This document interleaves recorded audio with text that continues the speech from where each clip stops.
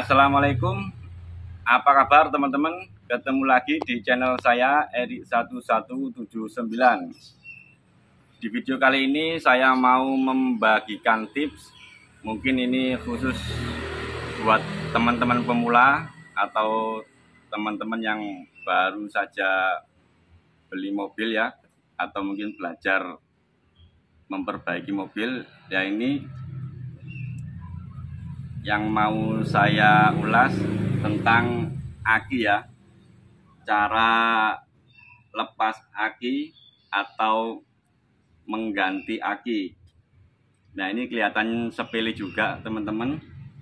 Mungkin nanti teman-teman pemula itu bertanya-tanya kira-kira kalau mau lepas aki atau melepas kabel aki ini yang dilepas dulu itu kabel min aki atau yang plus aki.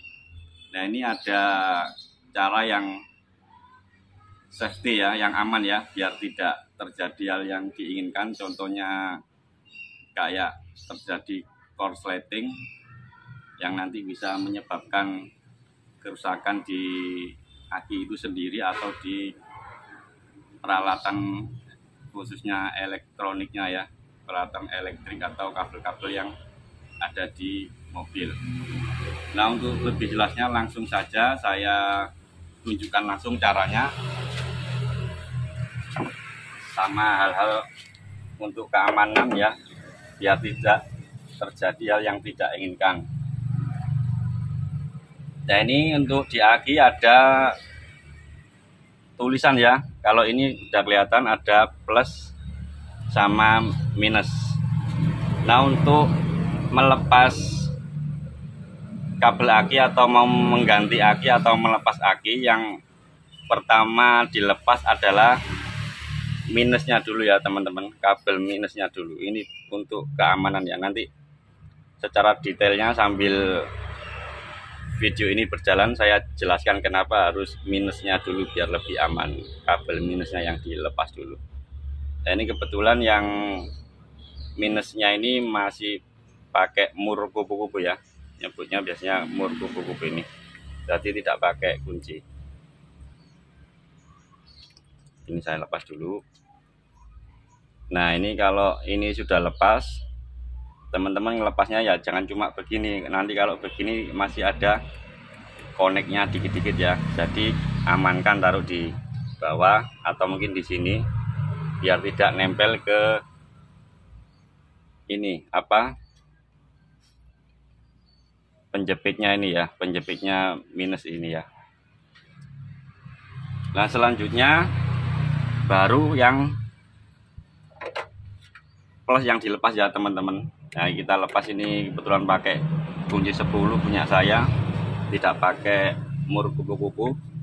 Nah ini yang dimaksud kenapa harus lepas kabel minusnya? Nah kabel minus ini yang terhubung ke aki ini kan biasanya terhubung juga ke body ya ke masa nah ini kalau tidak dilepas nanti masanya ini masih kuat masih ada. Kalau ini sudah dilepas kabel minyak jadi ini sudah tidak ada masanya ya teman-teman atau tidak ada minusnya aki istilahnya itu nah kalau ini sudah lepas aman. Kita ngelepas plusnya soalnya kasusnya yang ditakutkan ini seumpamanya teman-teman kuncinya ini panjang ya waktu ngelepas kabel plus akhirnya connect ke body sama saja dengan main ya kalau ini masanya kuat ini terjadi konslet. Nanti teman-teman akan kesetrum ya kaget ada percikan bunga api. Ya ini yang ditakutkan nanti bisa merusak aki atau kabel-kabel atau bahkan komponen elektronik elektronik yang ada di dalam mobil. Ya ini dilepas aman. Saya sendiri dulu waktu belajar ya sempat ngelepas connect ke minus atau bagian bodi ya kaget. Tapi setelah belajar dari teman-teman akhirnya juga paham. Nah kalau ini yang melepas ya teman-teman. Ini untuk melepas dan dilepas semua ini mobil tua ya jadi kabelnya agak lumayan banyak agak semrawut. Nah selanjutnya cara untuk memasang. Kalau memasang ini yang duluan plusnya dulu atau minusnya? Kalau tadi waktu melepaskan minusnya. Nah sekarang kalau masang sebaliknya teman-teman ya.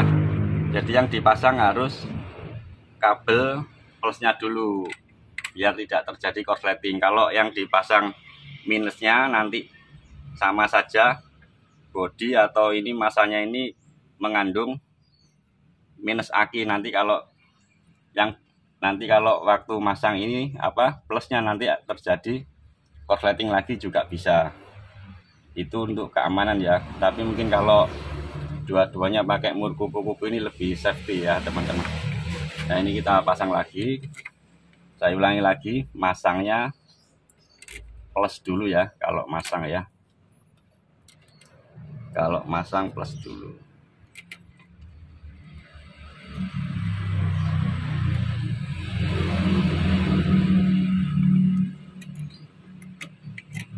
Nah ini plus dulu ya.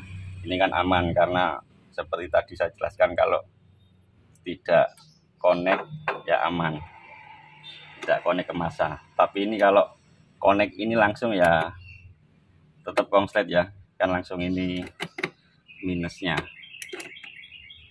Ini kita jaga kalau takutnya ke body nah selanjutnya kabel minus. Semoga saja tadi tidak tidak kebalik-balik ya waktu ngomong plus minusnya itu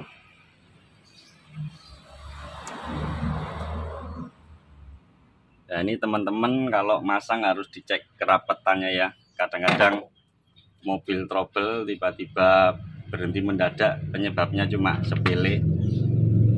Waktu masang baut plus ini atau minus ini kurang rapat yaitu sepele juga ya. Bisa membuat mobil trouble tiba-tiba mati sendiri.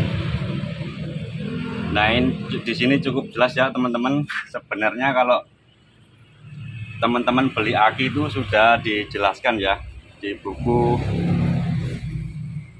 di buku panduannya. Kalau beli aki itu ada buku panduan atau cara untuk memasang atau melepas kabel aki ya. Intinya untuk ganti aki ini ada petunjuknya. Nanti teman-teman kalau beli aki biasanya ada buku petunjuknya ya tanpa harus melihat YouTube sebenarnya sudah tahu kalau teman-teman mau membaca buku petunjuknya ya kalau beli aki baru Nah oke okay, teman-teman itu saja tips dari saya tentang cara mengganti aki untuk biar lebih safety. Oke terima kasih kurang lebihnya mohon maaf semoga bermanfaat. Assalamualaikum warahmatullahi wabarakatuh.